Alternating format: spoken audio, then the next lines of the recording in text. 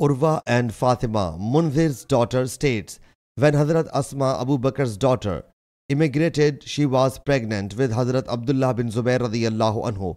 When she reached Quba, she gave birth to Hazrat Abdullah radiallahu anhu.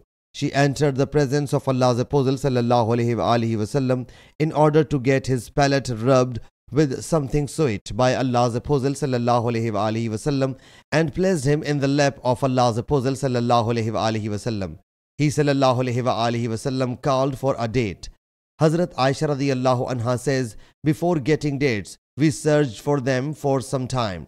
He wasallam masticated the dates and then put his saliva into his mouth. So the first thing which entered his mouth was the saliva of Allah's Apostle wasallam.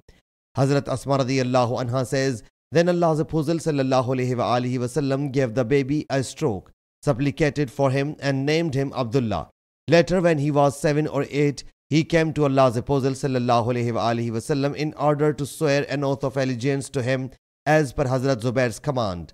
When Allah's Apostle alaihi saw him coming towards him, he wasallam smiled and took an oath of allegiance from him. Sahih Muslim, Hadith number 5581.